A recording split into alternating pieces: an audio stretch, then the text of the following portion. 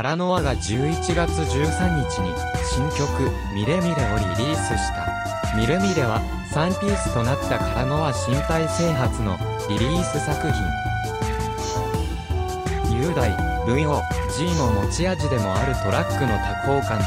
サビのレンジの広さが象徴的な一曲だ。ミレは泥、ミレミレは造語でドロドロを表現している。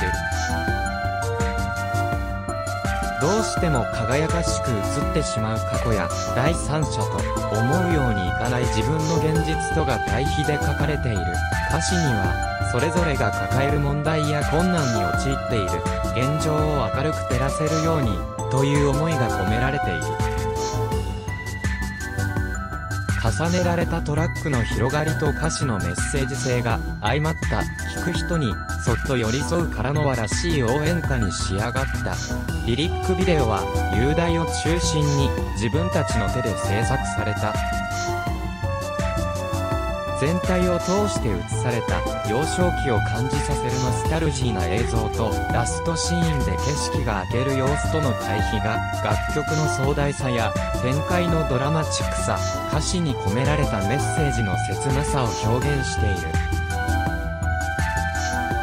また本楽曲は関西テレビロザンのクイズの神様超の11月のエンディングテーマにも決定している。カラノアは11月23日の大阪公演を皮切りにカラノアミレドモミレズツアーを東名阪の3カ所で開催予定。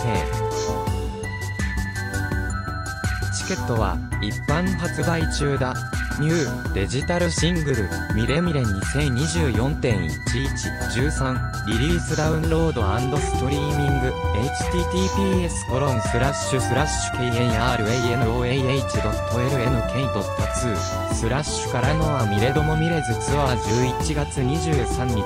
土曜日大阪ライブスクエアセカンドライン17時17時30分ゲスト門町ピート11月24日日曜日愛知 L サイズ17時17時30分ゲスト門町ピートプールズ11月29日金曜日東京 www18 時18時45分ワンマン公演チケット https コロンスラッシュスラッシュ eplus.jp スラッシュ KARANOAH-MRDMMRZ スラッシュ前売り料金3000円消費税込み。ベッドドリンク代必要。オールスタンディング。整理番号順入場主催。企画制作カラノア ASAB